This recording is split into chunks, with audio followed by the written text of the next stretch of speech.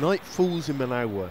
For the last three months, that's been the signal for frightened residents to hurry home. An unofficial curfew has ruled Nicaragua as protesters man street barricades while government forces and armed paramilitary groups hunt them down. But in the last few days, the capital's nightlife has begun to emerge again. A few braver souls are starting to venture out, and the relief at restaurants like La Taqueria is palpable.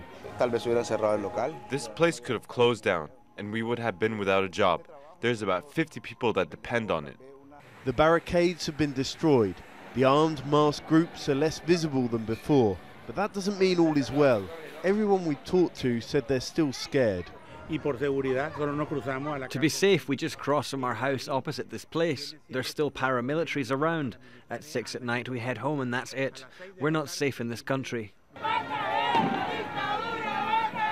Protests continue, demanding the president's resignation, but Daniel Ortega's government insists that everything's going back to normal.